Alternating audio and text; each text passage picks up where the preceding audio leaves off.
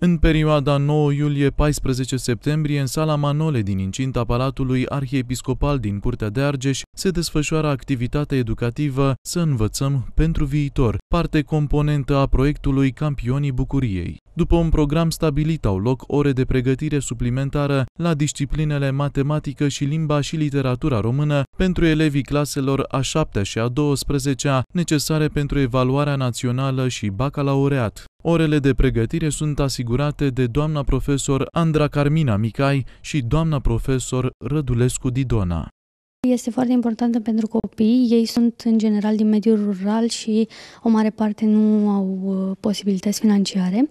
Uh, până săptămâna trecută i-am pregătit pe cei pentru bacalaureat, cei care au picat în vară, iar timpul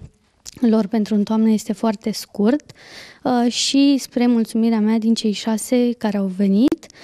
toți au promovat bacul cu note destul de mari și asta e o mare mulțumire pentru cei, cel puțin pentru cei de liceu, cei pe care am avut pentru bacalaureat, uh, o parte din ei lucrează, tocmai pentru a-și permite să trăiască și uh, meditațiile gratuite au venit uh, ca o mană cerească, au putut să pregătească pentru BAC fără să mai plătească în plus.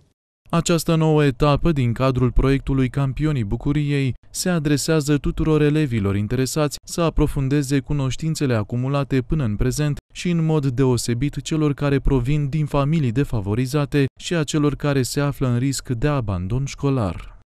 Mă numesc Negru Andreea Adelina, uh, trec în clasa a 7 sunt la școala numărul 3 uh, din Curtea de Argeș, Capul Dealului și am ales să vin la aceste meditații datorită faptului că îmi place foarte mult matematica și vreau să ajung cineva în viață, având în vedere că sunt gratuite și sunt organizate sunt organizate gratuit de către Arhiepiscopia Argeșului și Musucelului și am a fost o ocazie pe care n-am vrut să o ratez.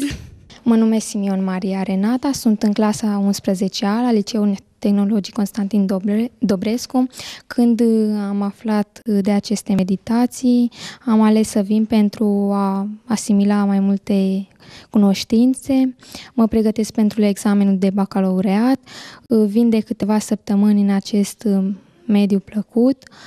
Înalt preasfințitul părinte Calinic, arhiepiscopul Argeșului și Mușcelului, a îndemnat preoții din cele șase protopopiate să se implice mai mult în identificarea diferitelor probleme cu care se confruntă elevii în activitatea educativă. În acest sens au fost chemate într-o lucrare de voluntariat soțiile preoților care sunt cadre didactice și predau materiile aflate în programa pentru examenele naționale.